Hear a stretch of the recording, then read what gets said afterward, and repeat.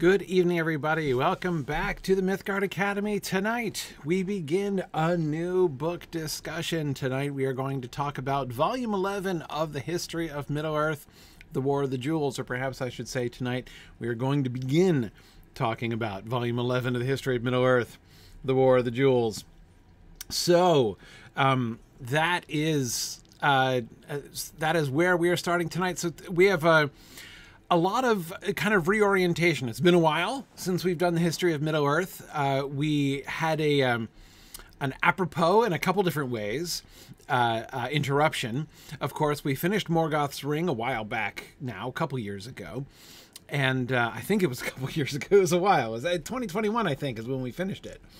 Um, and then instead of going back and doing the War of the Jewels uh, in uh, in the fall, um, as the, that fall. So this was um, previously uh, the fall of uh, 21, I believe, is when we were scheduled originally to start the War of the Jewels. That's instead that's when the Nature of Middle Earth came out, and so I wanted to take the opportunity to talk about the Nature of Middle Earth right after it came out, so we could all kind of read it for the first time together which was uh, awesome. That was a great deal of fun. Um, and as I say, it was apropos in a couple different ways. Because, of course, the material from the nature of Middle Earth is really taken from this same time period. You know, when Christopher Tolkien says in his foreword that he has, you know, uh, included you know almost all of the writings uh, on you know that Tolkien did on continuing the Silmarillion in the time after the War of the Rings. Um, the nature of Middle Earth kind of fills in the almost, gives us um, the stuff that he didn't include. Uh, and of course, some of it we can understand why Christopher chose when he had to pick and choose. He couldn't include everything. And, uh, you know, I can understand why he didn't include the pages and pages and pages of um, tabulations and calculations of uh, elvish, you know, generational uh, time scales and things like that. But um, so it, I, not that I blame him for leaving that stuff out, but um, but certainly it was fascinating to see that. So coming back to the War of the Jewels now, the War of the Jewels is designed to be the companion work to Morgoth's Ring, which we talked about back in 2020, and of course how he divided it. So you know he chose. He's he remember that he said he was going to spend two volumes talking about this the development of the Silmarillion material after the composition of the Lord of the Rings. But instead of dividing the two volumes by time, like instead of dividing them chronologically, first giving us the whole first wave of material that Tolkien created, and then in this next volume, giving the second wave of material. Instead, he gave us all of it, but divided topically instead of chronologically. So he gave us all of the waves of material for the front half of the story and uh, and now in the War of the Jewels he's doing the rest of it. That is picking up the Silmarillion narrative at the crossing of the sea. You know as he says the the uh, the, the the the the sundering seas are is what divides uh, Morgoth's ring from the War of the Jewels. And I think that um, I think that this is a proper uh, you know it, it's an understandable way for him to approach that. Um, either way, I mean, I'm certainly familiar with this kind of choice. Like there are pluses and minuses to doing it um, either either kind of way.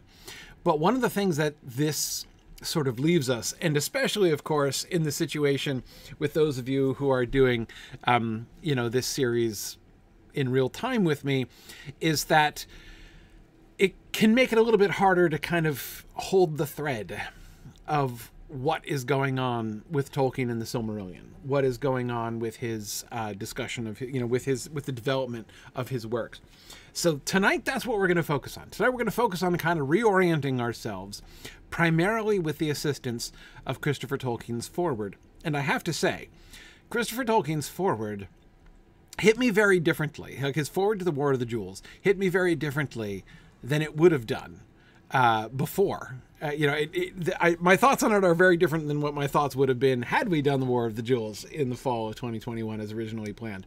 That is to say, uh, as I said at the time when we were talking about the nature of Middle Earth, I, I felt that the nature of Middle Earth, um, it's not you know there were it's not that there were a whole lot of particular texts like particular writings that were included in the nature of Middle Earth, which themselves individually blew my mind. There were a couple, but that wasn't. I mean, it's not like uh, there was nothing parallel to the experience, for instance, of reading the Athrabeth for the first time in Morgoth's Ring. Like that was mind blowing.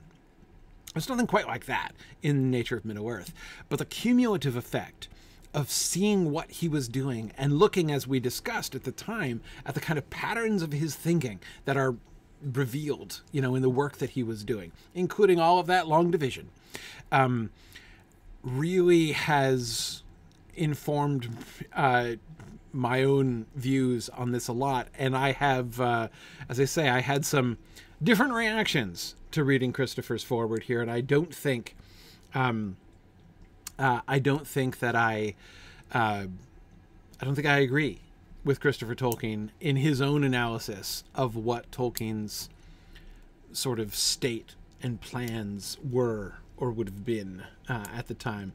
Um, I, Jacob, I, the Dancing Bears were a little bit mind blowing. Um, not quite at the same level, but I agree. That was certainly one of the top five passages, no question. Um, but um, yeah, yeah. I will. Um, I'll mention, by the way, uh, for those of you who are here uh, live in our, many of you in our Twitch chat. Um, also, for those of you who use our Discord um, during exploring the Lord of the Rings, I'm hoping to kind of transition towards using our Discord more consistently for uh, uh for Mythgard Academy as well. Um, so I have that open. If you want to pop into there, um, into our normal Tuesday night channel, I can see your comments there also. So uh, we may uh, change that around a little bit. Um, one of the advantages, of course, is that if you if you if you are if you are in our um, Signum Discord server, uh, when you listen on the Lore Hall channel, there there's no delay.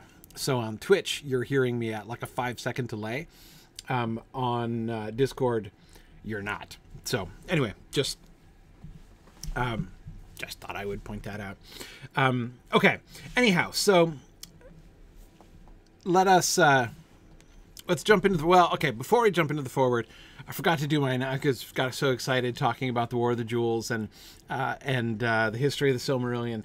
I want to. Um, uh, I do want to do. There are a couple important announcements that I want to make sure to tell people. So first, I want to let people know that my uh, my new book, Exploring the Lord of the Rings, Volume One, uh, in which I'm going to be discussing the Lord of the Rings from the prologue through the flight to the Ford, um, is being released now. So this coming week, um, a week from today, uh, the first installment will drop for that. So they're going to be monthly installments. You'll be able to. Uh, so you can, if you would like to read it now, you could wait for two years. If you'd like, it's probably going to take two years, maybe two and a half years. Um, and uh, and if you, but so if you, if you don't want to wait, uh, you can get the monthly installments right now, um, and kind of be more of a part of the unfolding process of the book as it goes. Um, so, um, uh, so yeah, so if you would like to do that, um, it's really cheap to get the monthly subscription. It's only two bucks a month uh, for to get the chapter installments as we go. Uh, and you can go to press.signumuniversity.org um, and look me up in the authors list there, or you could go to blackberry.signumuniversity.org and go through uh, the Signum University Press section there and subscribe to uh, to my book there. So I wanted to make sure to bring that to your attention because I have been having a great deal of fun uh, working on this book. Really excited. The first chapter um, so I'm gonna. I, have I'm right. I've written three chapters on the prologue uh, to the Lord of the Rings. Didn't expect to write that much, but there was more there than I thought when I sat down with it. Um, and the first chapter that's going to drop next week is about what on earth is Tolkien doing? Like, how does he set up his readers to relate to the work? Um, what what posture does he take? Um, and why does he take this posture? Why does he pretend that hobbits are real and the and Middle Earth is like historical and like what's he up to there? It's a uh, it's a wild thing that he does. Why does he do it? Um, so anyway, that's uh, that's the thing that we're gonna be uh, that we're gonna be ta- that I'm gonna be talking about in my first chapter uh, that drops next week. So um, anyway, that's gonna be that's gonna be a lot of fun. All right, so oh, and the other thing I wanted to mention and this also you can find on BlackBerry. Go to blackberry.signumuniversity.org and in our events page, enrollment is open for MythMoot, our big our biggest conference of the year, our four-day conference down in Washington D.C. at the end of June. MythMoot 10 Homeward Bound is our theme. Um, that is open uh, for registration now, uh, as well as a couple regional moots. We've got Sunshine Moot, we've got Tex Moot. Um, Excellent, uh, Tollers. You're coming to MythMoot. Very good, very good. Excited to see you come into your first, um, uh, to your first, to your first MythMoot here. Um, yeah, yeah. Anyway, so wanted to make sure that you guys knew about that because MythMoot is awesome, and uh, I hope that you guys can be able will uh, will will be able to come. Um, excellent. David Michael Roberts says I did a speed run through Morgoth's Ring recently, just in time. Fantastic exactly. Very well done. And yes, Tomas, uh, early bird pricing is still available uh, for MythMoot. Yep, absolutely, absolutely. Um, all right. Well, let us let us dig into Christopher's foreword here. Okay, so we'll remember. Let's do. Let's start off actually before even we get into the text. Let's just start by a very brief review of the entire history of the world so far, kind of, more or less, right? Let's just remember the shape of the, the the basic shape. We're not going to go through every detail, of course, but let's remember the basic shape of Tolkien's history with the Silmarillion, right? He begins the first stuff that we have is the Book of Lost Tales. The Book of Lost Tales so his first impulse is to write a collection of stories. So he's been writing these elf stories, right? These these elder days stories. And his first impulse is to put them together and to put them together within a frame, right? Within a historical frame, the frame of the human sailor, right, who goes to Tol and meets the elves and hears the stories, and then we get all the stories, and then he's going to bring it back uh, to the human world. And the human dude is originally called Eriol, E R I O L, and then he's like, no, it's going to be Ælfwine, um, elf friend, uh, and he's going to be, you know, from a, a you know, and, he, and and Tolkien then begins to play with like situating Ælfwine uh, in a more like historical place in English history, right? Um, and so you can see how the frame is really kind of beginning to grow. Eriol was kind of a standalone sort of. Uh, I don't want to say throwaway character. Um, that isn't quite right, but more sort of standalone, right? Where you can see with the Ælfwine shift, the frame story was beginning to develop, and he'll come back to that impulse later on. Um, but anyway, so he doesn't finish the Book of Lost Tales. Of course, uh, it goes without saying that very few of the things that he did, uh, that he's going to be doing in this synopsis, will have ends to them. Will will will actually be brought to completion. Um, so, what he's when he stops the Book of Lost Tales, um, in part for like the two of the reasons that he so frequently does stop um, uh, writing things. A, because the thing he was writing was getting completely out of control. And B, remember his outlines for the Eärendil story? that he was going to do at the end of the Book of Lost Tales, which was going to be like three times as long as the entire Book of Lost Tales up to that point, right? Um, but um, anyway, so uh, so yeah, so it was getting completely out of control. Um, and also there were other things that he wanted to do, like you know his his attention was like being diverted, and in particular, what he diverts his attentions to, as you will remember, and this is um, we're now up to volume three of the History of Middle Earth, the Lays of Beleriand. Um, he turns to epic poetry, uh, and he is because he really wants to do uh, the alliterative version of the Children of Hurin. The Turin story was always really important to him. He had written early prose versions of it. One, the one version, which is just like an adaptation, a direct adaptation of the Kalevala, and then the sort of revised version where he's putting it more into his fictionalized world, which we see in the Book of Lost Tales, and he wants to develop that more. So we get the the, the whole Children of Hurin idea, and then of course the Lay of Leithian the Beren and Luthien story in rhyming couplets. So we got these two long narrative poems uh, that he was um, uh, that he was developing right during this time. And this is now we're in like the twenties basically. Then we have the sort of stroke of chance, right? And the chance that happened, what got him back into writing the longer narrative of the Silmarillion was the need he was going to give somebody, give one of his colleagues, the Children of Hurin to read. His colleague, who was not really interested, I mean, like, or it wasn't because his colleague was interested in his stories of the First Age that Tolkien was going to share it with him. Instead, he was sharing it with him because his colleague was interested in alliterative verse, right?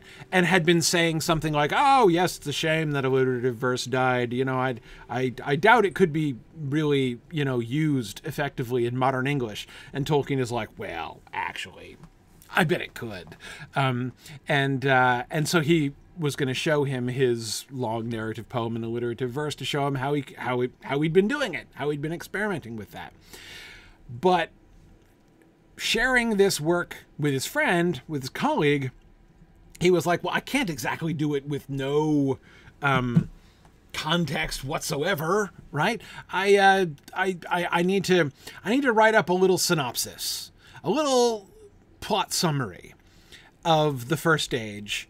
Because of course the story of Turin comes kind of at the end of it. And there's a lot of stuff that leads up to it and everything. So, um, uh, so yeah, so we're gonna, I'm gonna, so he starts with, uh, um, you know, his uh, his synopsis of the mythology, right, as background, and of course, he's Tolkien, so he gets carried away, right. Once he starts writing this synopsis, it starts expanding and expanding and becoming longer and longer. It's like 30 chapter um, synopsis. Um, and then he kind of gets into it. That is, he kind of gets into that mode of storytelling, the plot summary uh, genre, right? And he expands this out now. Um, and he expands it out. And this is so. This is uh, it's 1928 uh, is uh, is the first when he writes that summary of the mythology. Um, and then it's in 1930 uh, that he goes back and he he builds that out more and calls it the Quenta Noldorinwa. Um, and this is so this is sort of the first version of what you know when most of us think of the Silmarillion, this is what we think of the Quenta Silmarillion. That's you know like the whole big uh, sort of chapter by chapter summary of the story of the uh, of the First Age, um, you know of the Elder Days the Quenta Noldorinwa is the first real version of that, right? So now at this time, he kind of he still has fantasy. Now, keep in mind, I should have said he'd had dreams of publishing this all along, right? I think it was clear that he wanted to publish the Book of Lost Tales, and again, I think that his giving up on that is one of the things that discouraged him, I think, perhaps, from finishing it. So, you know, instead, he decided to give the British people what they want. Narrative poetry, right? Alliterative or rhyming couplets, narrative poetry, long form narrative poetry. That, that's surely that is what the British public demands, right? So that, so he turned himself to this obviously more lucrative turn. Um, I'm joking, but he did actually share the Lay of Leithian with the publisher um, and tried to get it published. But um, shockingly, no dice on that. Um, so when he's writing the Quenta Nolde it's not obvious to me that he's really thinking in terms of like I'm I'm hoping this is going to get published and sell like hotcakes in the form that it's in. Right? I, I really don't think that he was thinking that. He was enjoying um, going back and revisiting his mythology, he seemed to really like this again, that's sort of the plot summary mode, instead of just like diving deep and doing you know the stories in that because the, the the the book of lost tales was very much sort of segmented right? Here's this story and then here's this story. And again there was a frame to kind of connect them all together. Um, but instead instead i want to write this kind of like a history book right? I want to write this as if this were the historical records of that time right? So let's uh, let's let's do it in that mode, and he seemed to really enjoy that. Um, now, okay, then something exciting happens. Remember, 1930 is when he was doing this. And of course, you'll remember what the exciting thing is that happens soon after 1930. And that is The Hobbit is accepted unexpectedly for publication. He's writing The Hobbit between 1930 and 1933, and then unexpectedly to him, um, or unbeknownst to him, it gets submitted to a publisher and then gets accepted for publication. And so now he's prepping The Hobbit for publication, and um, that's kind of exciting. But the real excitement, of course, happens late in 1937 when The Hobbit is actually published in September of 1937 and actually has an audience. It's so popular. The uh, publisher did not seem to have very high expectations for it. They didn't print a massive run uh, of the first edition of the book. That's why Hobbit first editions are really hard to find because the first edition of The Hobbit was a pretty limited run at the time. And then they were like, well, crap, we sold out. We need to print more quick. And it was hard. Um, so anyway, and there was a fire, like a whole bunch of them burned uh, and everything. So anyway, whatever. The point is, there was all this frantic, like, oh, wow, The Hobbit is really popular. And Tolkien at that point, remember, late in 1937, was like, my ship is coming in at last, right? Finally, all of these stories that I've been writing now for decades right? He'd been writing them for 20 years by this point. Um, it, had been 20 years since the Book of Lost, since the, he started the Book of Lost Tales, more than 20 years. Uh, and he's like, all these stories I've been writing, now there's going to be a market because now I understand that there is a public out there who loves my book and wants more. And so I have a publisher coming to me saying, Do you have anything else, Professor Tolkien, that we can publish? And he was like, Yes. Yes, I do. And so he began. And remember when we were looking at, I'm looking over at my bookshelf here, and we're looking at The Shaping of Middle Earth and The Lost Road, volumes four and five. We were looking at the Silmarillion related works that he was writing at that time. And it's pretty clear from the context, from what we could see of the, the way that he's titled things and the way that he's laid things out, that Tolkien was, at that point, late 1937, frantically preparing the Silmarillion stuff for publication. Like he, this was going to be it. He was going to be able to put all of this stuff together. And so he was imagining this. I don't know if he was imagining one volume. It probably would have had to be a series because there's a whole bunch of stuff. Um, where he was, you know, he, he had the Ainulindale, he had the um, the Quenta Nulda which he'd already revised and retitled the Quenta Silmarillion. That was in 1937. He went through and was like, okay, I gotta, I gotta, I'm gonna dust off the Quenta Nulda Um, oh, and he'd started writing some annals, the annals of of Valinor and the annals uh, of Beleriand. Um, you know, the, again, those two halves of the history of the Elder Days. Um, so, because those are kind of a supplement to the Quenta, uh, to the, the, the what was the Quenta Noldorinwa and became the Quenta Silmarillion. Okay, so we've got the Quenta, we've got the Annals now. Awesome, great. Oh, the Ainulindale. We've got things like the Ambarkanta, which is the description of the world and how it's made up. He had the Lhammas, the the, the Tree of Tongues, uh, a, a description of the languages and how the languages developed over time. I mean, come on, talk about what the British public is demanding. Okay. Um, and uh, so anyway, so there's all these there's all these things, um, and he was disappointed again. Right, the publisher was like, "Gee, this is really great." No, really, this is fascinating. Um, uh, but what we're hoping for is a sequel to The Hobbit, like another children's book starring Bilbo, The Further Adventures of Bilbo, um, The Hobbit, except more of it, right? Like that's that's what we want. Not um, as as nice as this material is, right? That's not what we want.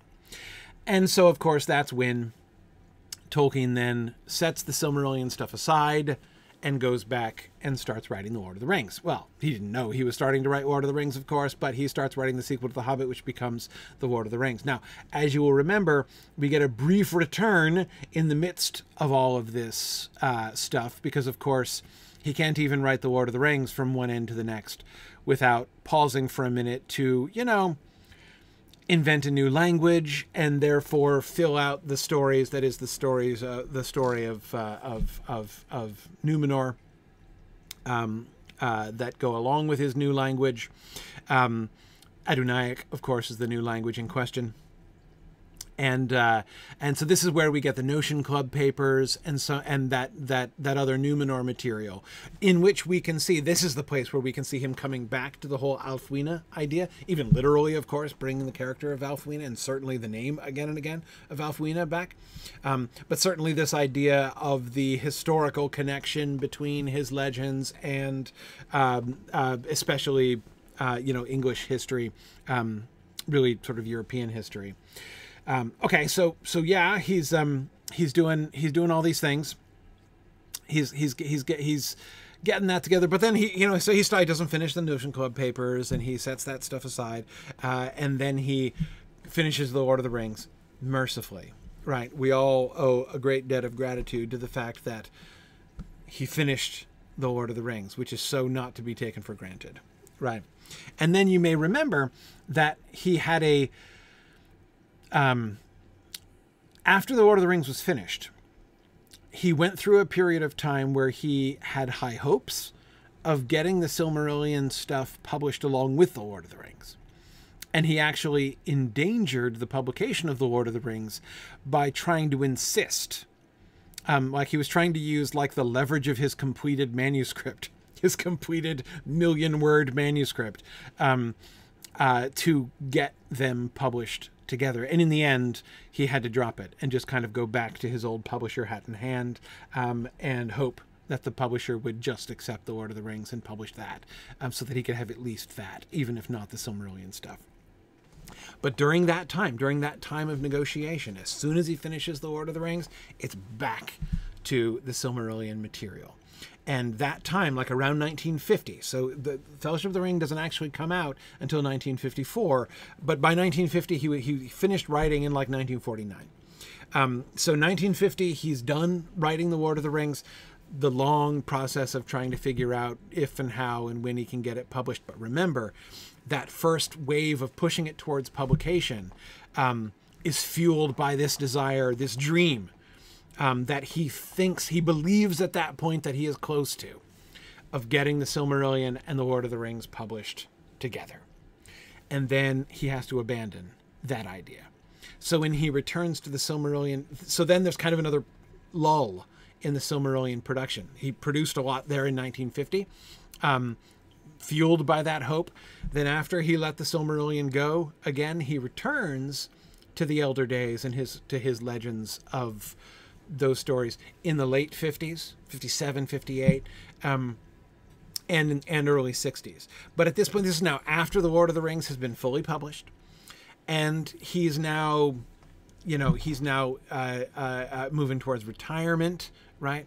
Um, and the idea of the publication of the Silmarillion is less urgent to him, I think, is less kind of present to his mind um, as a drive you know um, like i gotta get this together so i can get it into publishable form and get it out there. Um, seems to me to be less of an urgency by that time in the late 50s um, than it had been at almost any time in his life up until that point which is ironic because of course by that time by the end of the 50s when the lord of the rings had come out and already been a global phenomenon now he could have published pretty much anything he wanted to. I mean, he had he put back together that 1937 pitch, right? And I I bet you Allen and Unwin would have published it, right? Um, but ironically, now when it is theoretically possible, I believe um, that um, uh, that it um, would have um, you know been possible for him to publish the Silmarillion. He's no longer really kind of working with that same drive. But I think there's something else at work there too. So this is where we're going to come back now and pick up uh, Christopher's foreword here. All right, so uh, I hope that was not uh, too tedious a review, a sort of an overview um, of where uh, a sort of Tolkien, the history of Tolkien's relations with the Silmarillion there. Okay, Um, so here's Christopher talking about the first and second waves. This is again starting in 1950.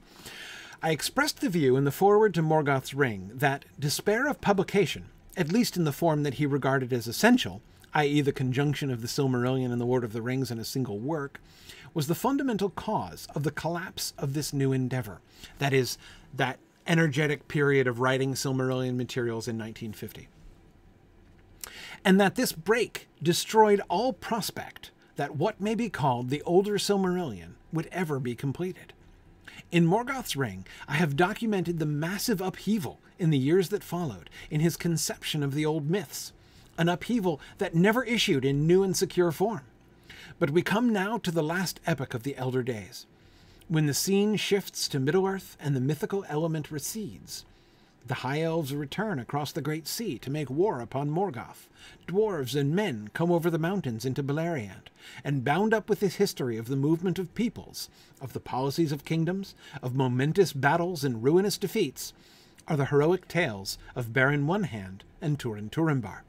Yet, in the War of the Jewels, the record is completed of all my father's further work on that history in the years following the publication of The Lord of the Rings, and even with all the labor that went into the elaboration of parts of the saga of Turin, it is obvious that this bears no comparison with his aims or indeed his achievements in the early 1950s. Okay, so remember that when he's talking about the early 1950s, like that first wave, what he uh, um, the new endeavor, as he called, uh, as he called it. Um, things that are included there.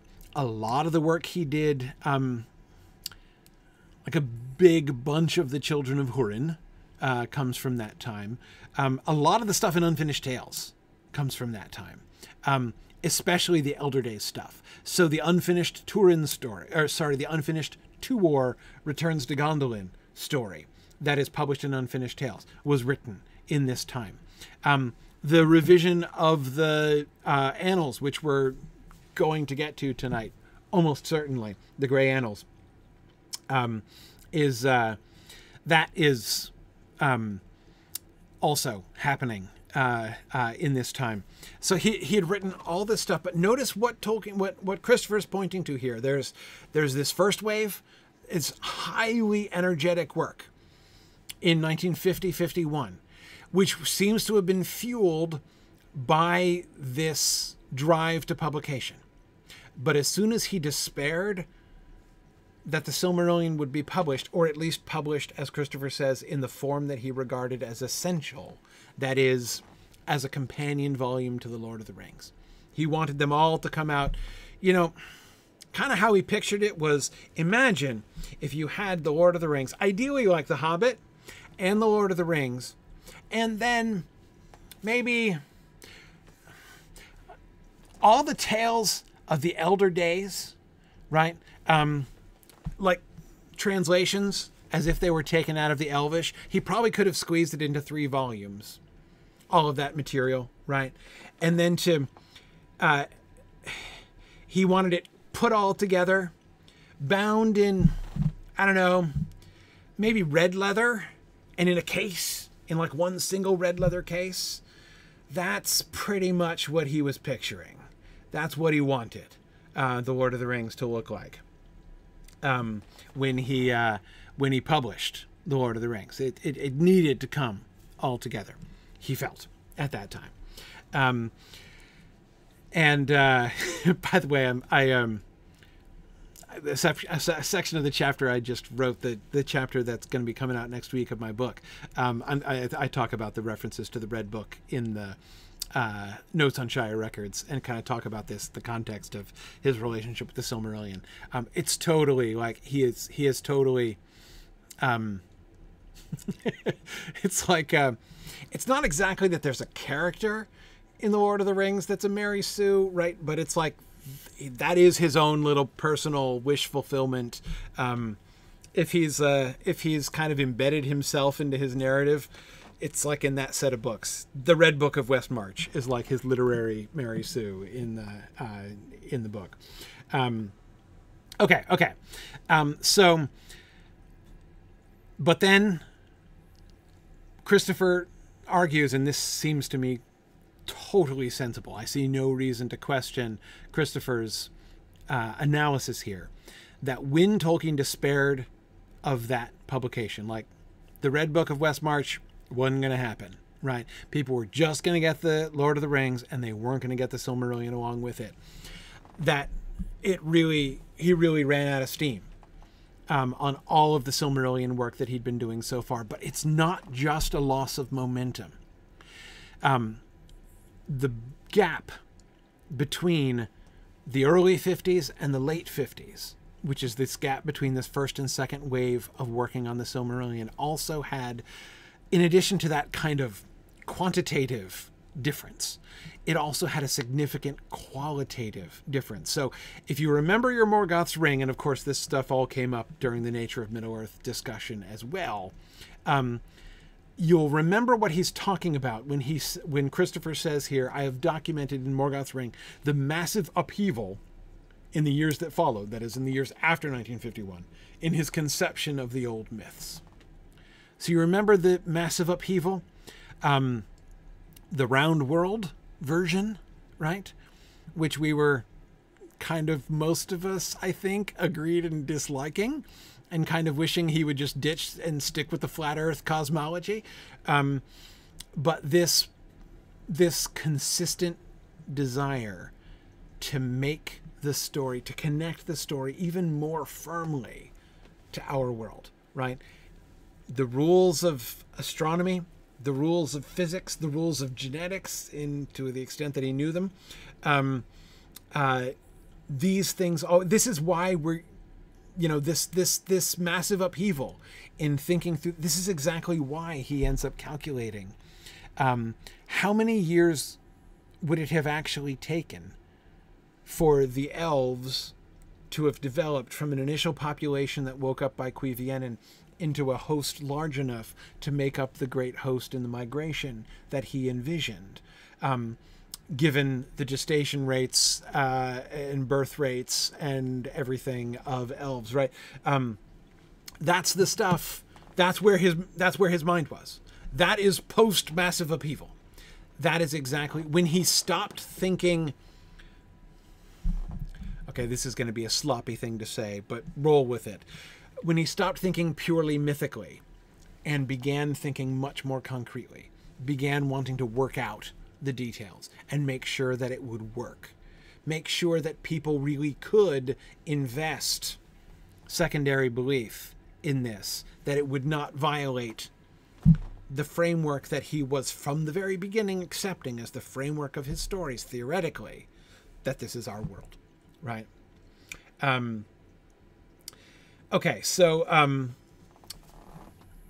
yeah all right so that's the that's the massive of uh, massive upheaval that he's talking about here, um, and it affected all parts of the story.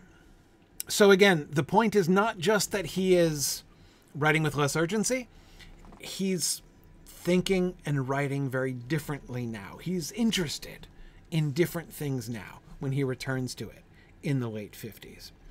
Um, and that's why, so again, what Christopher says there at the bottom yet in the War of the Jewels, the record is completed of all my father's further work.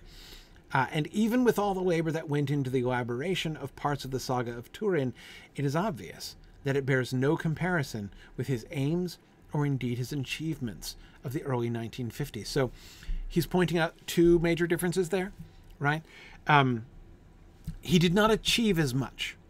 That is to say, if you put together all of the like finished, even uh, you know, not even counting okay, okay, by finished, we don't necessarily even like our standards as Tolkien readers are low. We don't need it to be like to come to a conclusion or anything.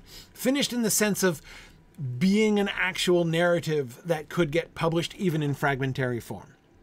Um, so, like for instance, tables of elf genealogical time, not counting as a narrative, right?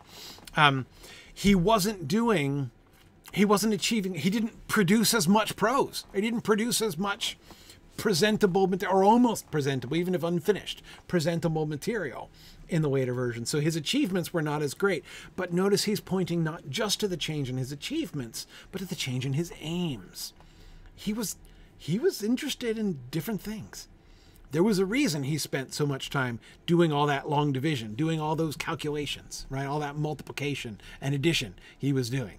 Um, and that's because his aims were different. And as such, he was therefore, he was spending who knows how much real time, right? How many hours of his time, how many weeks of his time he was spending doing calculations, the result of which was going to be what? A paragraph? A couple paragraphs, right? All of this world building that he was doing, pure world building, antecedent to actual storytelling. So he does much less storytelling and much more world building later on. So it wasn't just his achievements, it was also in this way his aims. Um, yeah, yeah. Um, okay, uh, Tollers, uh, uh, do I think the lack of revision on the um, Annals of Valinor is due in part to the real world uh, and allowing that to be more the mythic backdrop?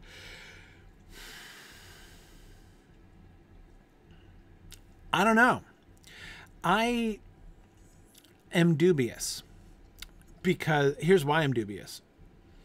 Because the mythic backdrop, the Aman stuff, was in no way immune to. So, like this, Christopher's when Christopher talks about, um, but we have now come to the last epic of the Elder Days when the scene shifts to Middle Earth and the mythical element recedes it would be possible to take that to to get from that sentence the impression that this new direction, this new kind of uh, focus, narrative focus of his work, um, this new focus on world building, correlates with shifting from the early high mythology material to the later more romantic narrative, romance narrative, uh, uh, meaning romance, of course, in its medieval, not its modern sense. Um, just like storytelling, um, rather than sort of high mythology. Um, anyway, it, it, makes it sound like there might be a kind of a correlation there. I do not think so. Uh, again, because as we saw in the nature of Middle Earth, he spent how much time, how much paper, calculating the very earliest and most mythic elements, right? Namely, the first awakening of the elves uh, and just the preparation.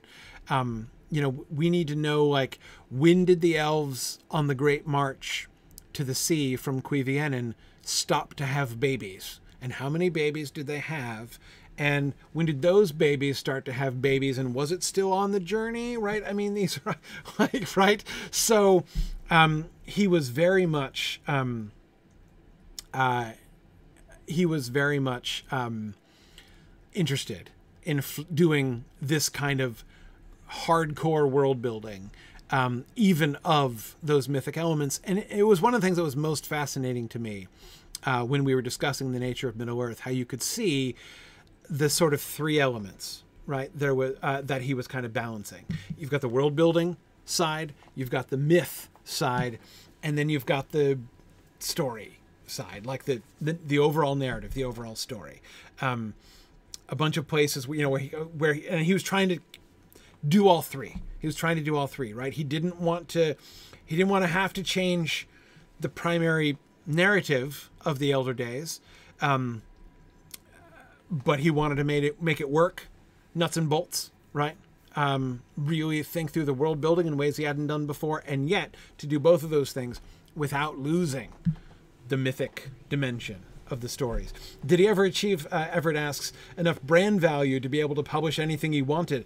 I think he had. I think that, I mean, look, um, Everett, I have a, I think we can prove that Tolkien had achieved enough brand value to be able to publish anything he wanted. I give you The Adventures of Tom Bombadil. So, um, hi, uh, you know, Rayner Unwin. My old auntie would like to see a volume of my miscellaneous comical poetry in publication. Would you mind putting that out? Yes, sir, Professor Tolkien, sir, we shall publish a random collection of your comic poetry. yes. So, I mean, yeah, yeah, I think, and again, that I think is the, the sort of the, the biggest irony, um, and in some ways the saddest irony, if you think about it from a particular perspective, um, of his whole publication history, is that at this time, the late 50s, when his aims and achievements are shifting, right? Are, are his achievements uh, in narrative writing and storytelling are diminishing, and his aims in uh, story planning and thinking are um, are altering, um, and becoming, in a sense, more unrealistic in terms of uh, the trajectory towards a completed product, that's the time when I do believe. I bet you, if he'd have, again, as I said before, if he'd have done his 1937 thing there, and he'd come to them and be like, okay, three volumes. I'm got, I've got here's the Akallabeth, here's the Valaquenta, here's the Quenta Silmarillion, here's the Annals of Valinor and Beleriand, here's the Lhammas, the Tree of Tongues, you know, here's the Ambarkanta. Um, slap the, those babies together in like three volumes and publish that sucker. I, I, I, I mean, Rayner Un- Unwin would have done it. I am sure Rayner Unwin would have done that. Um, but, um, but it, it, um, it didn't. It didn't happen. Anyway, let's keep going. Okay. Back to that new narrative impulse thing. For this, there can be no simple explanation, but it seems to me that an important element was the centrality that my father accorded to the story of Hurin and Morwen and their children. So, sorry, the this, the pronoun at the beginning of this paragraph, is he's talking about why during this period he was spending so much time with the story of Hurin um, and Tur and Turin Turambar. Um, it's interesting how it's almost like Tolkien's life begins and ends with an obsession with the Turin Turambar story, right? I mean, Turin Turambar story is one of the biggest, most important stories of his whole early writings. Um, and then in the end, he's really focusing on it too. So why why does he why is he so obsessed with Turin? For this, there can be no simple explanation, but it seems to me that an important element was the centrality that my father accorded to the story of Hurin and Morwen and their children. Turin Turambar and Nienor Niniel. This became for him, I believe, the dominant and absorbing story of the end of the Elder Days, in which complexity of motive and character, trapped in the mysterious workings of Morgoth's curse, sets it altogether apart. That saga went back to the foundations in went back to the foundations in the Book of Lost Tales. But its great elaboration belongs largely to the period after the publication of The Lord of the Rings and in its later development, there entered an immediacy in the telling and a fullness in the recording of event and dialogue that must be described as a new narrative impulse in relation to the mode of the Quenta. It is as if the focus of the glass uh, by which the remote ages were viewed had been sharply changed. Okay, so what's he pointing to? So, on the one hand, so there are two things that I want to emphasize here that we see in this passage. One is just to acknowledge, and we'll come back to this when we look at uh, some of the later texts in the book, of course, um, when we're reading lots of Hurin and Turin stuff later on. But um, so first is the importance of that story. Um, this came for him, became for him, I believe, the dominant and absorbing story of the end of the elder days. Um, I would emphasize that for a moment of the end of the elder days. I've said many times before that the story of Turin Turambar seems to me the most mortal focused of all of the stories in the Silmarillion. We have other stories in which humans play a part. Beren and Luthien comes to mind, of course, as stories with prominent human characters. But even though, of course, Mortality is a major issue in the story of Beren and Luthien, and so you could say it's kind of a, a mortal story. It's not really a mortal story. It's it is a story which is interested in how the elves relate to mortals and mortality. That's but the whole thing still comes from a basic elvish framework, right? We don't really enter into I mean honestly, and this is something interestingly we've been encountering uh, uh, in my Silmarillion film project uh, that we do on alternate Thursday evenings. Um, we're in season six of our planning of our theoretical uh, uh, TV adaptation of the Silmarillion, and we're in the Beren and Luthien season. And one of the things that we've confronted at many points um, is this sort of surprising extent to which, you know, Christopher can call that story, if he likes, as he did in the previous passage, the heroic tale of Beren One Hand. It's not the heroic tale of Beren One Hand. In fact, Beren is himself almost a minor character in the sense when you look at what he actually does and expresses. Um, it's not his story. It's not a story of his. Pers- it's not from his point of view for sure. Um, and there are times in which it seems only barely interested in like what Beren is going through and what Beren is experiencing. We hear from him, so I don't want to overstate it, right? But um, the story of Beren and Luthien is really, and I think centrally interested in the elvish point of view on things. But the story of Turin Turambar that's a story which, from beginning to end, is really focused within the mortal framework. Um, and we get through the Turin Turambar story more of a taste of like what it's like to be a human in that world, in the world of the Elder Days.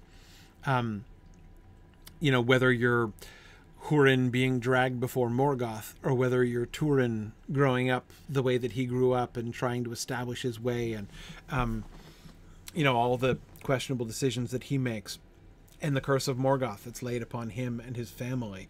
Um, that is, um, uh, yeah. So I, I, I've long said that I, I feel that the story of Turin Turambar is the one which is really kind of submerging us in the viewpoint of mortals, or at the very least, in the elves' imagine. It's the elves immersing themselves in that viewpoint, right? It's not still not written by a human author, and a human author still might tell the story of Turin Turambar differently, right? Um, I think there might still possibly be an elf bias in uh, the story of Turin Turambar. Um, but that's actually going to be an interesting thing to see uh, as we move um, into some of the Turin and Hurin stuff in this book. But anyway, I really like Christopher's emphasis, not just on mortality, um, but on the end of the elder days. It's not just, it is not merely, hey, let's check in with humans and see how mortals are getting along uh, in the elder days, right? As they're being trampled underfoot in the wars of you know elves and gods that are happening there in the elder days. Um, uh, it's not just that; it is the elder days themselves are passing, are preparing to pass, right? Um, and you know there are things that we see and understand about that and even the ways in which like is it uh, are there ways in which we're being prepared for the concept of the dominion of men? What is the world going to look like when the elves are gone? I don't know. Anyway um, it's interesting to think about in those terms. So anyway so that's the one thing that i think christopher says it's really interesting here. But that in the context of our discussion tonight in this session that's a little bit of a side note. The big thing i want to emphasize is the end of this passage. It's great elaboration. The you know the saga goes back to the foundations in the Book of Lost Tales. I mean, like it's that's been there from the beginning, right? And remember, it was one of the things that he was like, and now an epic poem, right? So I mean, he has there's been a lot of spotlight on the Turin stories. But despite that, despite everything that he had written about Turin so far, the greatest elaboration of this story. Elaboration, mind, not just retelling, but development, building up, um, increase in detail, right? And of narrative form. Notice what Christopher Tolkien emphasizes. There entered an immediacy in the telling and a fullness in the recording of event and dialogue that must be described as a new narrative impulse. It's not just that he was telling more of the story and making it longer. He was telling it in a new way. It's a different kind of narrative. Um, especially when contrasted to the mode of the Quenta Silmarillion. That is to say, the mode of the uh, that plot summary genre that he kind of, you know, started to dig around 1928 to 1930 and kind of elaborated and um, supplemented with the annals.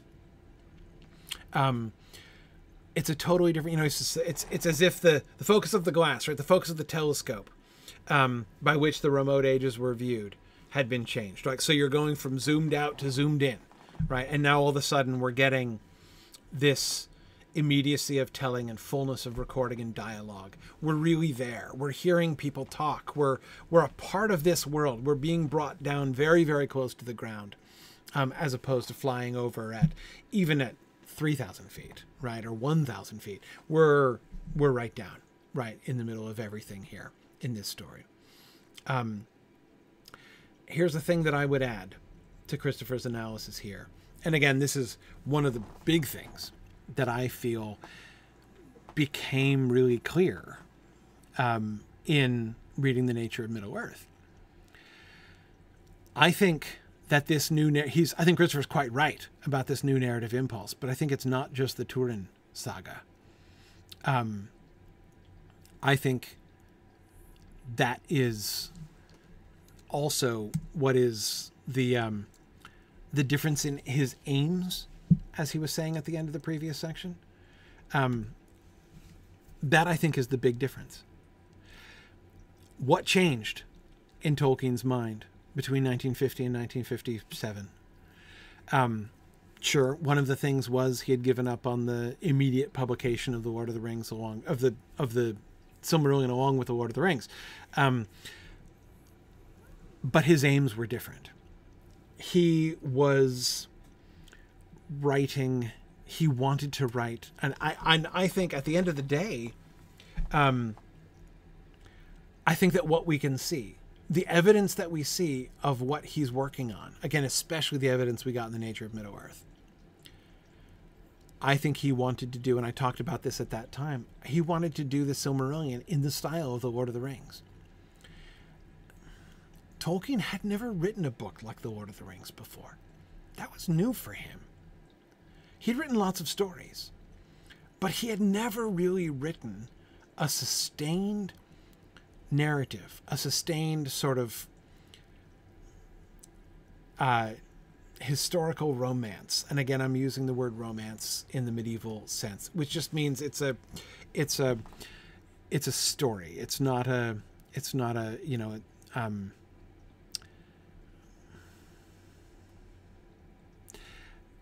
the difference it's like a so the, um, an epic is something that is designed to be like chanted and performed on a stage. Very performative. Um, you get dramatic speeches and everything but you don't um, it's not just kind of telling you everything that happened. You don't lose yourself in an epic. You're always um, you don't get caught up in an epic. You can be caught up in an epic, but it's in a totally different way, right? You don't just lose yourself, as I say, in an epic. You don't um, invest the same kind of secondary belief in an epic. You don't feel like you're really there. You don't feel like you're part of the story.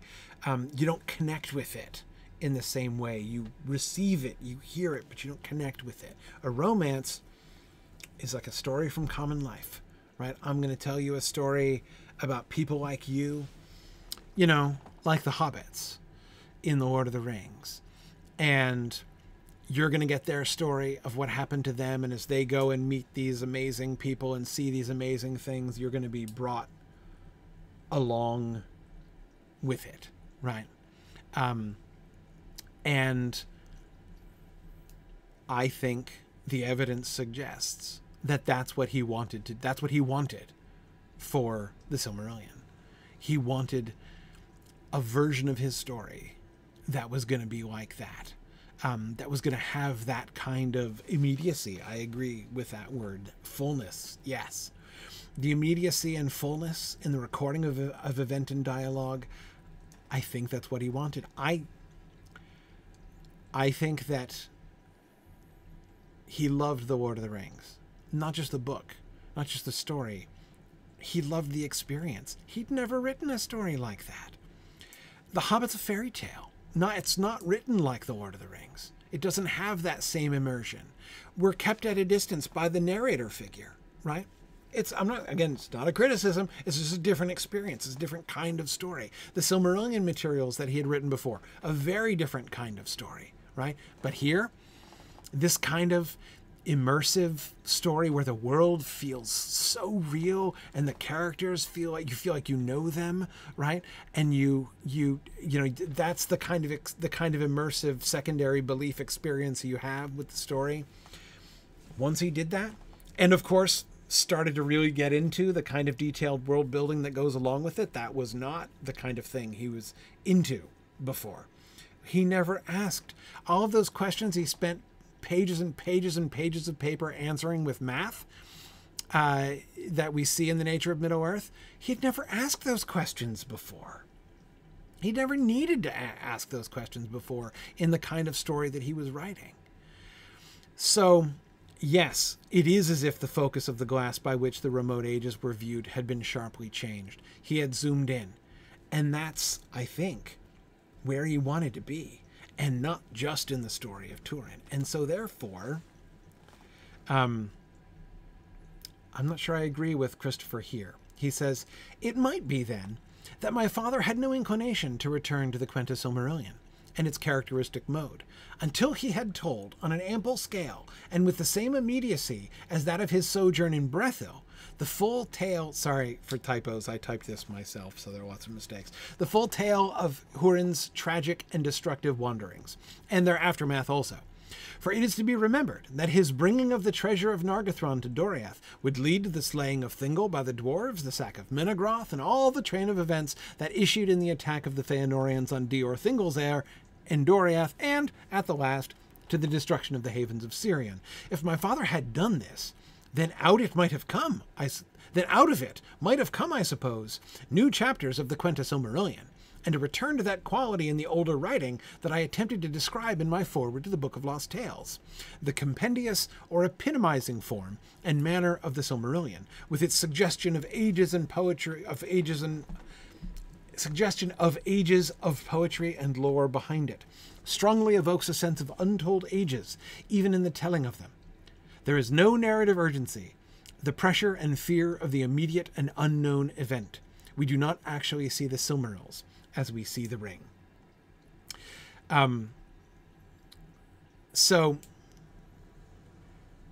he, Christopher, concedes that it might be that my father had no inclination to return to the Quenta Silmarillion and its characteristic mode, that uh, that compendious or epitomizing form, what I call the plot summary genre, right?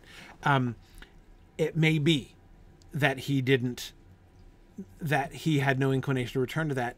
Christopher concedes, right?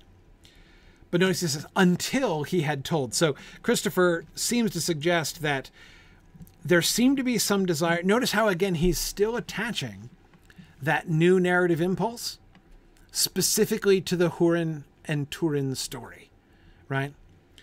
It's like I maybe he just maybe my father just needed to get the Hurin story out of his system, right? He really wanted to tell the story in that mode, right?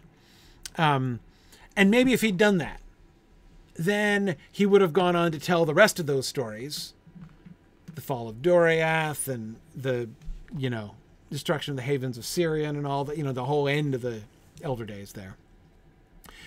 Back in the old form, maybe he would have gone back to Quenta Silmarillion style, having finished the story of Hurin and Turin specifically. I don't believe it for a minute, not one minute. I think that all of the evidence of Tolkien's writings suggest that they get bigger, not smaller. Um, here's exactly where I disagree. He said, uh, if he had done this, that is, if he had written the story of Hurin, then out of it might have come, I suppose, new chapters of the Quenta Silmarillion and a, ter- and a return to that quality in the older writing. No, it wouldn't. I don't buy it, not even a little bit. Had he written it, had he continued, certainly the entire rest of the story. The bringing of the treasure of Nargothrond to Doriath, the slaying of Thingol by the dwarves, the sack of Menegroth, and all the train of events that issued in the attack of the Feanorians on Dior Thingol's heir in Doriath, and at the last the destruction of the havens of Sirion, he would have done in the same new, following the new narrative impulse. I feel, I feel confident in that. Um, he'd gotten the bug for that. Um, and that's the direction that things are always going. They're always getting more detailed and closer in like that. Even the annals, as we saw in Morgoth's Ring, even the annals were tending to include more and more dialogue, which you shouldn't have in annals, right? I mean, you know, maybe maybe you could be excused if you're writing a set of annals, like, okay, here's a my single entry for this year in order to summarize the important events of this year, right? Maybe if there was a particular like important speech that was made at some point, you might give an excerpt, maybe, right?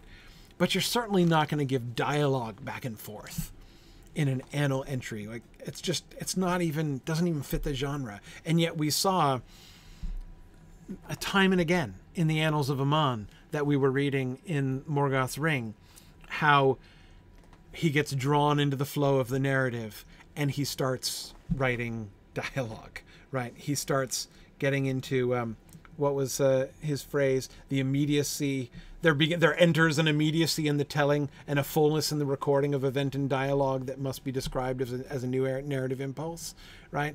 I think we see that even leaking into the annals themselves. Remember that the whole scene of Feanor being asked to give up the Silmarils and then what he's thinking and his refusal to do that, um, you know, after the uh, the the fall of Formenos is is discovered, that was all an annals entry that got completely out of control, right?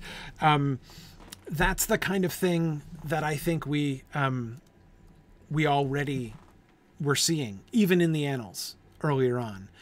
And I think that what it seems to me, again, based on what we can see of the stuff that he's writing, um, even though he's not producing as many stories, what he's doing is preparing the way for exactly this kind of the indulgence of this narrative impulse much, much more broadly.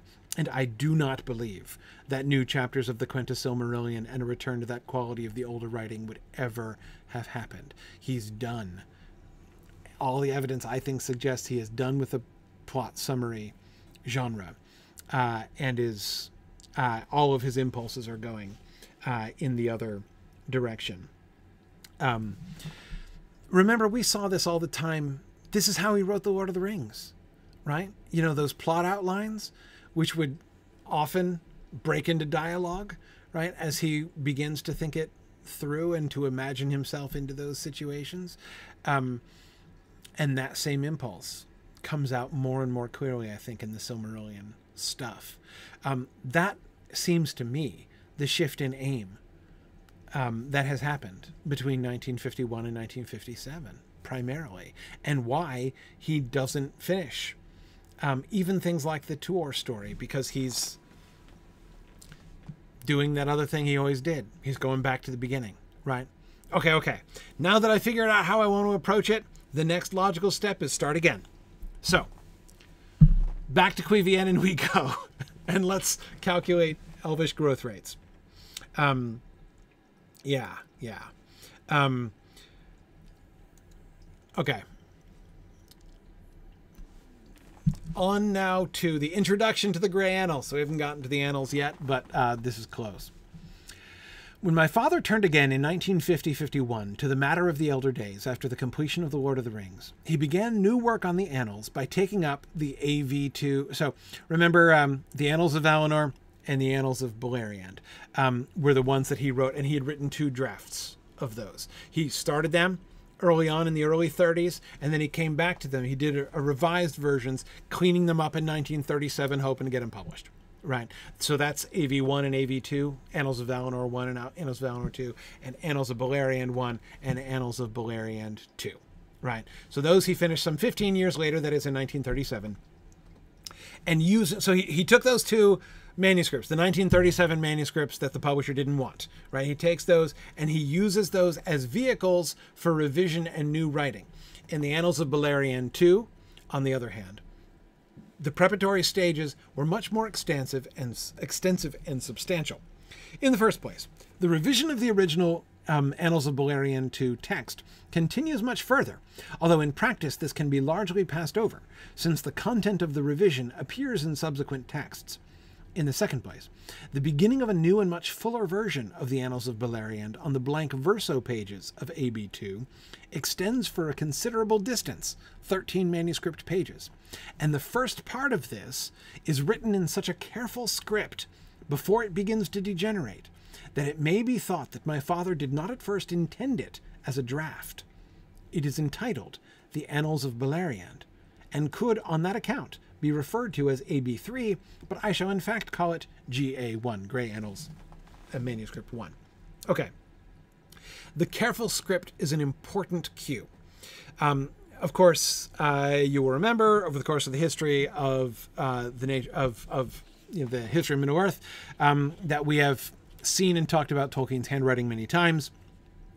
Tolkien's handwriting is of mostly two different kinds, right? Um, it is either gorgeous or practically illegible. Um, and it seems pretty clear why he does the one and why he does the other, right? The nearly illegible version is when he's just writing for himself, notes for himself, a quick draft for himself. It's clearly designed just to write at speed as he's trying to get things out on the page, right? Um, but when he writes fancy, which he was capable of extremely fancy writing, right? When he writes fancy, when he writes in a careful script, it tends to be, um, yeah. Uh, Matt says I like when he writes in Tengwar. It's almost always legible. Yes. Um, he does much less scrolling in Tengwar. Um, but um, anyway, when he's writing in a careful script, when he's writing very legibly, it seems to me to be generally because he, and this seems like a super obvious thing to say, but he's intending somebody else to read it, right? That is when he is, um, when he is writing a fair copy, something that he might hand in to somebody, or at least give to somebody else to read. In other words, it seems to me that the evidence of his careful script, this writing of 13 manuscript pages of careful script, which is basically like an updating of the last. So he takes the 1937 Annals of Beleriand and he's like, okay, I want to do, I want to, I want to, I'm, I'm just going to revise this, but I'm not rewriting it right? That's what Christopher means when he says he didn't intend it to be a draft, right? He didn't think of when he sat down to that work. He didn't think of this as like, okay, time to uh, start again, right? Time to uh, uh, reinvent the annals of Beleriand. I'm going to start with a new draft. He didn't think he was starting with a new draft.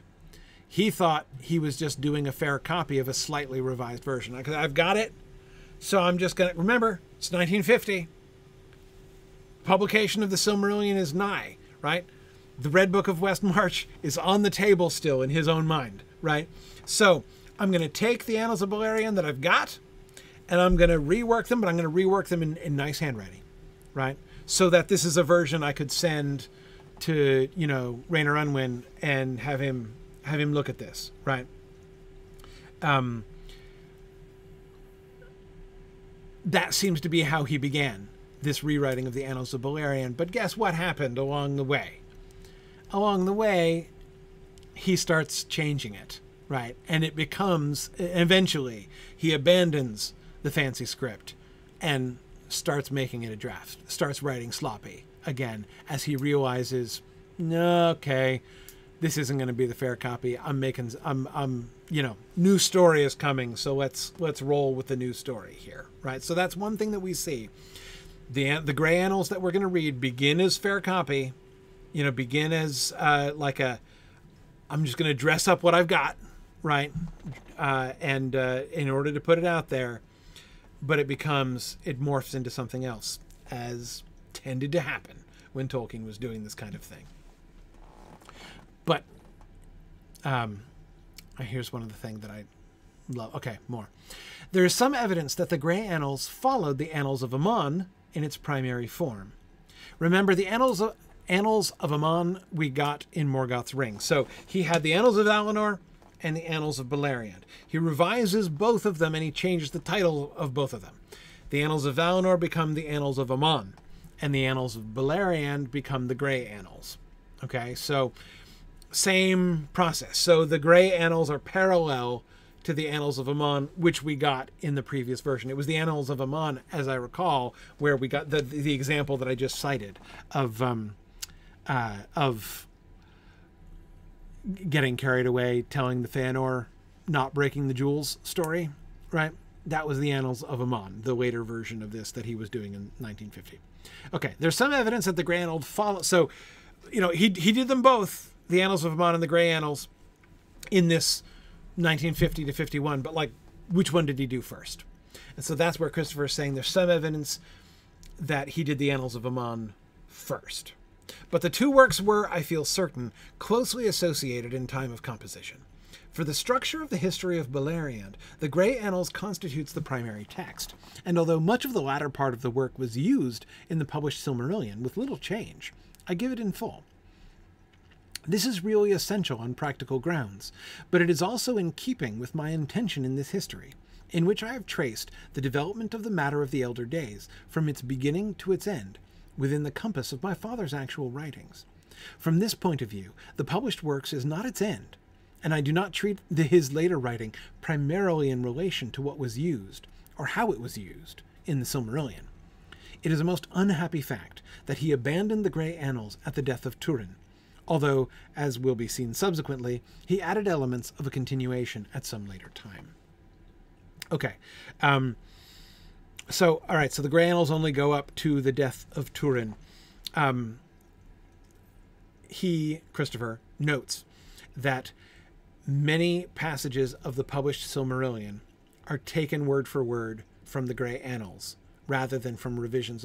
Even though, like, so that section of the published Silmarillion that is called the Quenta Silmarillion is actually comprised of some bits from the Quenta Silmarillion and some bits from the Annals of Aman and from the Grey Annals, which are lifted straight out of there and integrated with the other text, right? You will recall that we saw a bunch of examples of this in uh, the Annals of Aman uh, when we were reading Morgoth's Ring. Um, Christopher is uh, so I like Christopher's uh, sort of um, I don't know if it counts as a warning exactly, but his note here that he's not going to waste his time trying to either explain or justify how everything got into the Silmarillion. He's like the goal of this book, of this series of books, is not just to um, explain, you know, his father's writing primarily in relation to what was used or how in the Silmarillion. This is not just like a commentary on the published Silmarillion. What he's trying to do is, like, irrespective of what and how things got put together in the published Silmarillion, I want to show you the whole thing and how it all fits in together. And of course, from that, we might gain an understanding as to the choices that the editorial choices that Christopher made. He's showing us all of his raw materials, right, from which he drew the published Silmarillion. Um, and um, I, so I admire the fact that Christopher. It's a very humble move for Christopher. Um, it would have been really tempting, I'm sure, uh, for Christopher to kind of let this slide into a, you know, self justification, essentially. Like to, he poured so much of himself, Christopher poured so much of himself into putting together the published Silmarillion that I would have understood had he wanted to write a whole volume in which he was like, so let me tell you, let me show you how I did this. Let me let, let me break it down for you and tell you what I and why I made this choice and why I made that choice and all of this all of this kind of thing. Um, uh, but he says, I'm I'm not I'm not going to do that. I'm not going to walk you through that step by step. Basically, I think he's saying like you can figure it out. You can put it together. If, you, if you're interested in this question, I'm giving you pretty much all you need in order to be able to see, um, uh, you know, what, uh, how the published Silmarillion was made. But I'm not gonna, I'm not gonna back it up. And of course, it's I didn't include that in this passage, um, but it's right near this paragraph um, where he talks about um, some of his own regrets that there are some of the decisions, some of the editorial decisions that he made in producing the published Silmarillion, which he very much regrets. Um, so I think we'll see some of those things too uh, as we go through this book, just as we saw one or two of them uh, in Morgoth's Ring as well. Um, but a side note from this this helps explain some of the some of the irregularities of the published Silmarillion. That is what he is pointing to. And again, he's not going to spell it out, you know, map it out passage by passage for us. But what he's pointing to here is that the stories that we get in the published Silmarillion, like the chapters of the Quenta Silmarillion in the published Silmarillion, sound like unified stories, but they're not. Right? Like the um you know, the you look at the uh you know, so I got my published Silmarillion here, right? And you look at the chapters like of the flight of the Noldor, of the return of the Noldor, right? Of the ruin of Beleriand, right? All of these chapters here none like, very few of those if you take the chapter as a document that's not a document that Tolkien wrote that these chapters are composite documents with material that is drawn from the annals material that is drawn from the Quenta and sometimes material that's drawn from other places as well and this I think helps to explain I think about the um uh um I think that's. Um, remember when you talked about the the the glass, right? The telescope. Um, it is as if the focus of the glass by which the remote ages were viewed had been sharply changed. Um, I think that this helps to explain. I remember having conversations about this many, many, many years ago back in the Silmarillion seminar when we were talking about we were going through the published Silmarillion chapter by chapter, and um, we were talking about places where the narrative zooms out and in. Right, I think that was the metaphor that we were using when we were talking about that there, and I think we've we've talked about this at some points in our discussion of the histories as well. Um, but now I think we can begin to see why that is and why that happens, right? that sometimes this zooming, it's the later impulse. This is happening, this shift from this really, really high, we're looking at the whole thing from 20,000 feet narrative to all of a sudden now we're getting dialogue, right? We're hearing what people are thinking and stuff. Um, results in part from Christopher taking, making into, making one composite narrative, not only out of multiple texts, but of different texts that are written at different times with different narrative aims by Tolkien as well. So when we get a chapter which contains some of his, you know, 1950s impulses and some of his 1930 impulses, right? Um, and those are going to be different, very different. Um, All right. This is my favorite bit. At the top of the first page of the old AB2 text, Annals of Beleriand 2 text, no doubt before he began work on the enormously enlarged new version.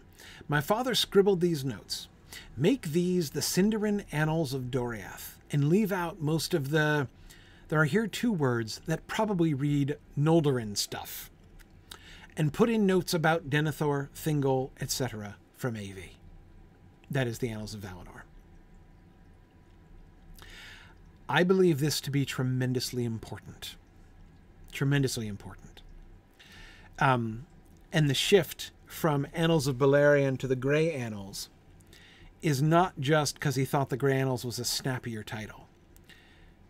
It is rather a reflection, it seems to me, of an entirely new, even a radically new conceptualization of this text. Do you see the difference? It's phenomenal. It's the difference between a distant narrative written from an indeterminate point of view. I mean, he started the annals, as Christopher mentioned in a passage I didn't quote.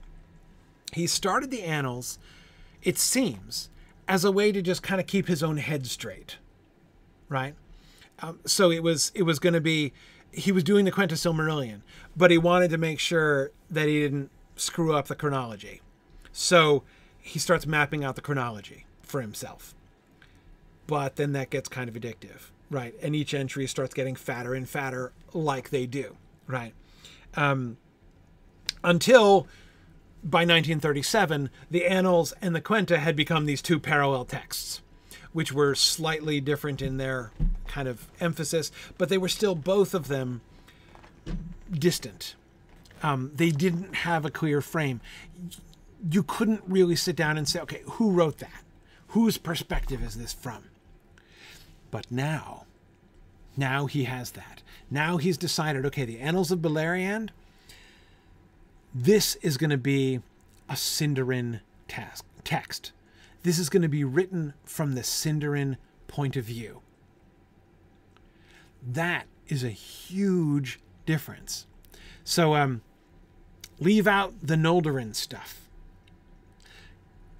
we're going to write a version of the of the latter half of the Elder Days with all the Noldorin stuff removed. Really? Okay, I'm here for it. I'm here for it, right? Um, but the the impulse by which he now wants the texts themselves to have a, a, a historical frame, a historical and like documentary life within the story itself. Where are we getting this text that I'm writing? Who wrote it? Under what conditions was it written? And what was it doing? It's no longer just this sort of, it's what started off as a free flowing set of notes by him to keep the chronology straight. And then became this kind of uh, overall sort of elvish summary, uh, you know, of the story year by year, is now really becoming naturalized within the world of Middle Earth itself. Okay, no, no, this is going to be written. Is going to be the Grey Annals. It's going to be written by the Sindarin, and therefore they're not going to tell all the Noldorin stories, and all of the stuff from the Annals of Valinor because I was just following the chronology before, and so of course there was a bunch of Den- of of the stuff about Denethor and Thingol, you know, the meanwhile in Middle Earth stuff right? That was uh, that was happening in the annals of Valinor back in 1937 as well. No, no, no. I'm going to take that stuff and I'm going to shift it. I'm going to put that all here in the Grey Annals because this is all Sindar all the time. Not to say that it's never going to say anything about somebody who's not a Sindar, right? But I'm going to invent. I'm Tolkien. I'm going to invent a historical frame uh, for this. Again, this suggests to me a significant step forward in how he's thinking about this story. And you know what it sounds to me most like? What it reminds me of most? It reminds me most of a note on Shire Records. Um, that's what it reminds me reminds me most of what I just wrote the first chapter of my book on. Um, when he comes at the end of the Lord of the Rings and situates the writing of the Lord of the Rings itself, the manuscript history, um, you know, the, the the the history of the provenance of the Lord of the Rings manuscript and how it came down to him, the modern uh, translator and compiler. Um, he's in that he's in that mode, I think, when he's writing this here, and he wants to make just as he had tremendous fun making the writing of the book itself, of the Red Book, a part of the story. The last pages are for you, Sam, right? Um, even the story of how um, Bilbo's corruption by the ring screwed up the first edition of The Hobbit because he lied in chapter 5, right? He told the lying version of chapter 5. Um, all of the ways in which he has made the writing of the story itself a part of the story, now he is putting that impulse to work here. And again, it's not that this impulse is like totally unknown in the history of the Silmarillion materials. We saw, in a sense, he started there with the frame of the Book of Lost Tales, right? I, I, I want to have my human narrator who's going around and asking questions of all the elves, and I want to tell the story, you know. So that that impulse, um, it's a it's a new impulse that he's just been developing in writing the Lord of the Rings, but it's also an old impulse, right? But it's an impulse that had gone away after the Book of Lost Tales. Um, we hadn't seen it quite so much. There is some evidence that he's still thinking vaguely in those terms in some ways, in like the 1937 material. Um, but I think that this change here shows that he's really sort of sharpening that um, in all of this. And yes, Feonaro's Pizza, I agree with that. One of the things that this also suggests, so that's the significance of him giving it a frame, a consistent frame like this.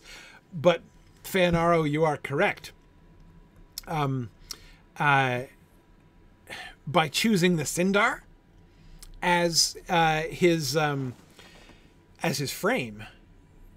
What he's doing, at least implicitly, is more world building. Um, Feonaro, as you say, he's setting the Sindar apart as a people. They're not just diet Calaquendi anymore. Yeah, yeah, which is a very Noldor Noldorin perspective, isn't it? Right? Um, yeah, we've we got implicitly or explicitly we got almost all or indeed all of the early stuff from the point of view of the Noldor, right? I mean, it's been an Noldorin story from the beginning. Um, now, now he seems to be, at least tentatively, undertaking what is not just like a cute little frame that he's adding onto it, but potentially what is also a really new way of thinking through the stories.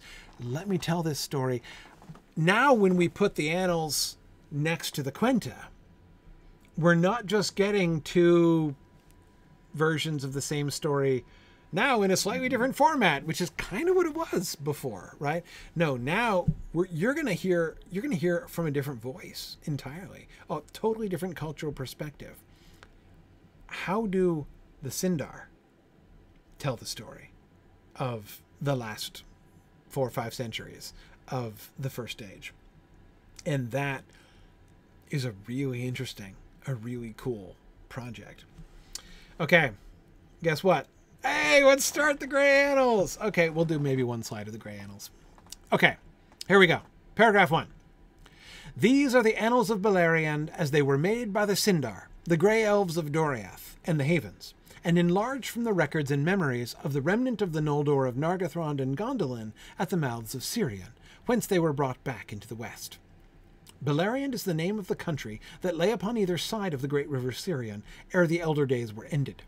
This name it bears in the oldest records that survive, and it is here retained in that form, though, it is, though now it is called Beleriand. Really? The name signifies in the language of that land the country of Balar. For this name the Sindar gave to Ossë, who often who came often to those coasts, and there befriended them. Okay, first paragraph first.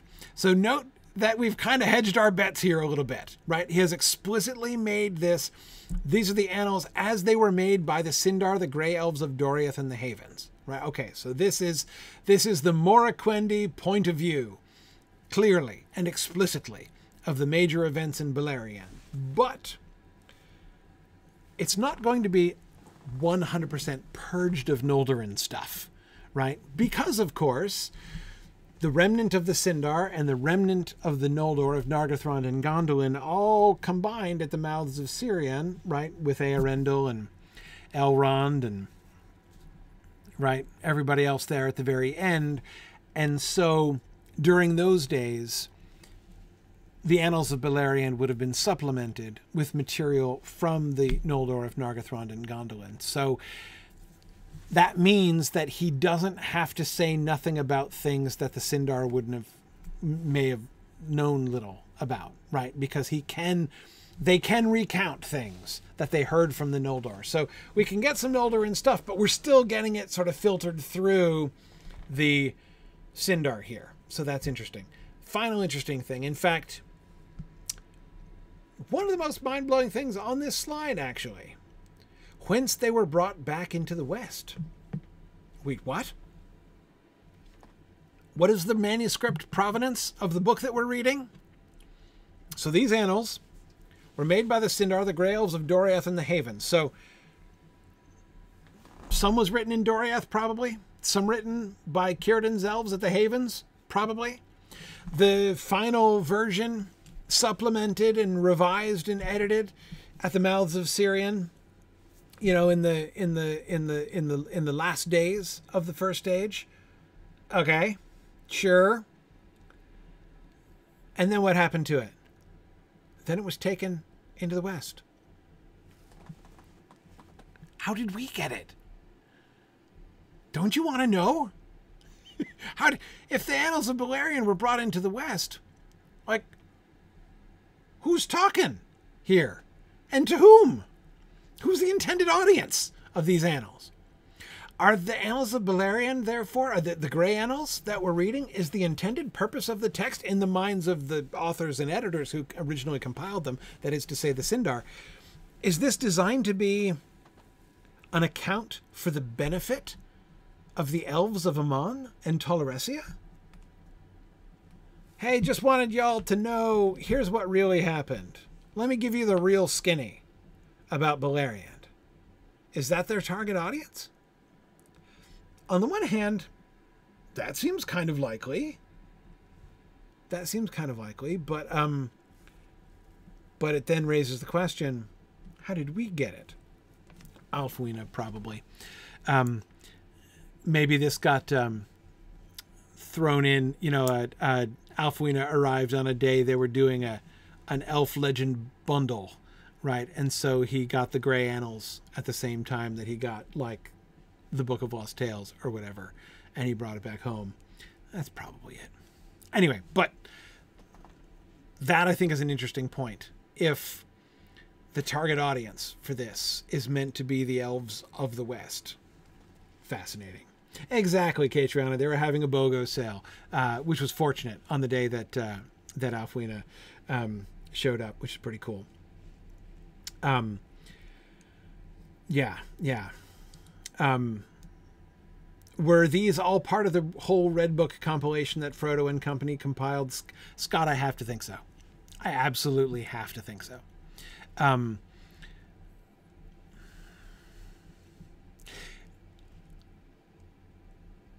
I am very confident, very confident. You can't 100% prove it, I think, but I'm pretty confident that the Note on Shire records, which was not published with the first edition of the Fellowship of the Ring, and is clearly written later, that Note on Shire records was written after this was written in like 1950. Um, and so therefore, when he writes his little like fantasy version of the Lord of the Rings and the Silmarillion published together and bound in red leather in a single case. Um, he'd already written this. Uh, so I, I think, yeah. And remember, this paragraph is one of those paragraphs that he's writing in fancy, in uh, fancy script, right? Um, in other words, he's preparing it, essentially preparing it basically preparing it for publication. Um, so um, so yeah, yeah, I I would guess, therefore, that the Grey Annals and the Annals of Aman both feature in the translations from the Elvish by BB. Yeah, yeah. Okay.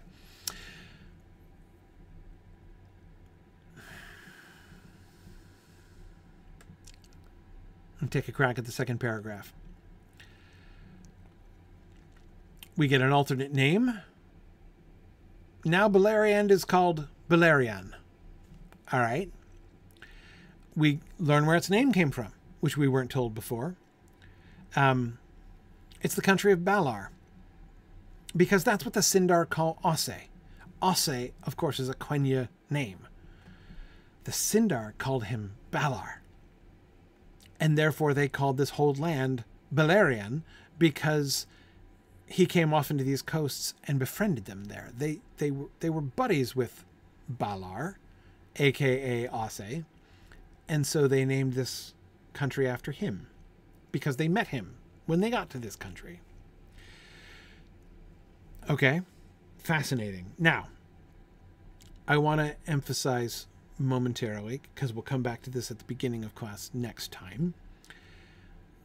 Beleriand is the name of the country that lay upon either side of the great river Sirion.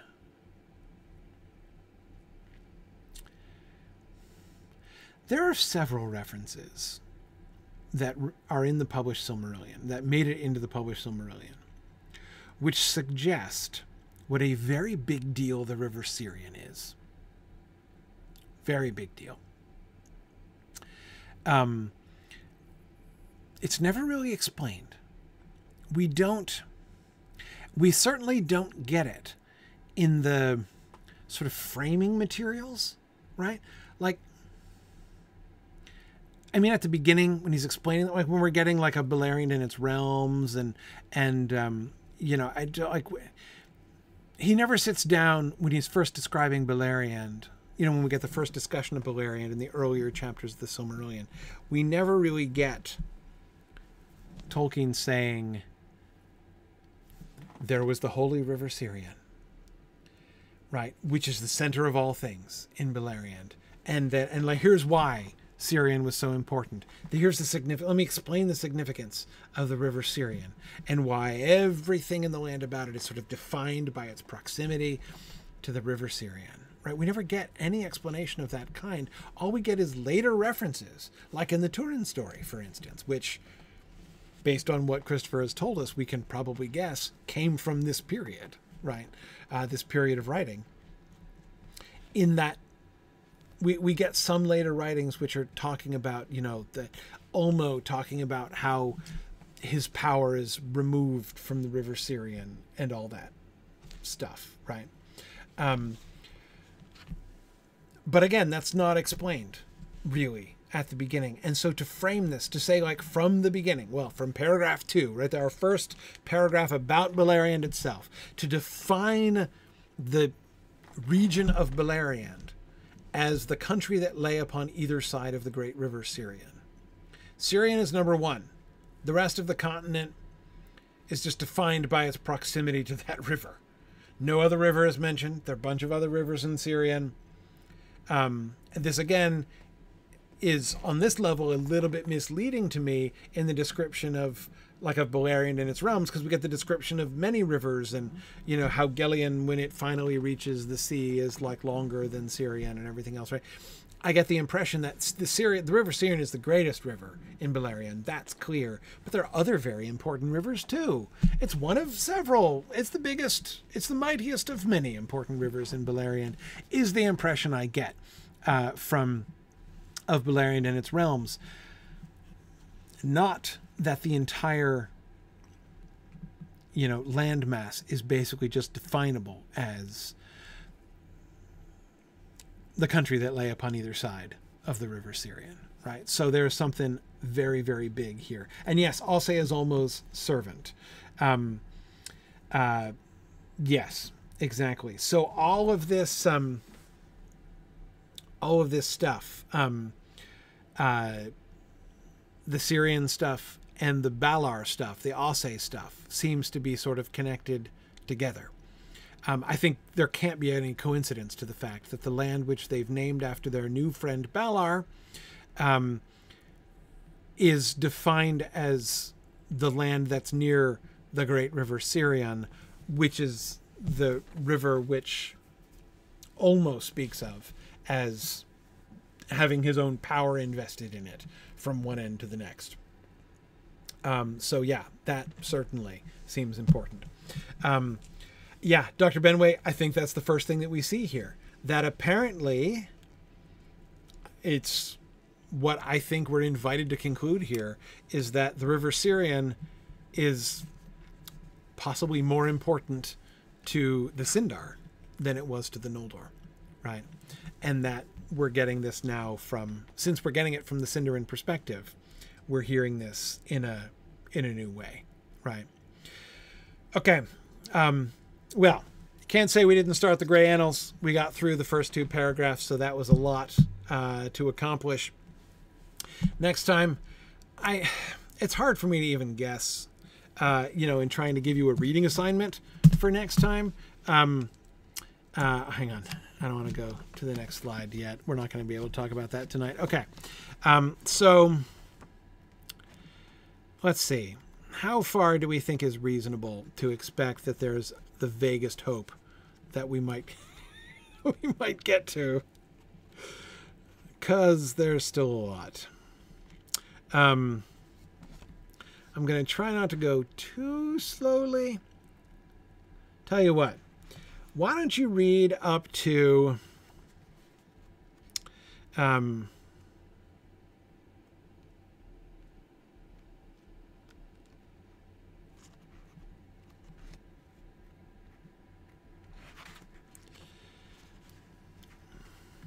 read up to page 36. It's ambitious, I know. Read up to page 36 in the hardcover edition, um, that which is labeled Year 60, the Third Battle.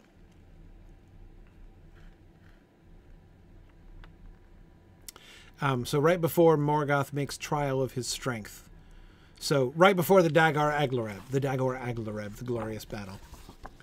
We will, um, so we will cover the early days. We'll attempt to cover as much of the early days as we can. Page 36, that's what we're going to read up to. Okay, I'm I'm gonna, I'm gonna put my bookmark right in there here. My lovely wooden bookmark that I got as a present. Thank you. Okay. Um, thanks everybody for joining me. Uh, we are now well and truly begun and immersed in the text here of the War of the Jewels, uh, going through the Grey Annals, looking forward to the Grey Annals, uh, and seeing what more we learn about the Sindar and everything as we move forward. Thanks, and I should see you guys again next Wednesday. Have a good evening, everybody. Bye now.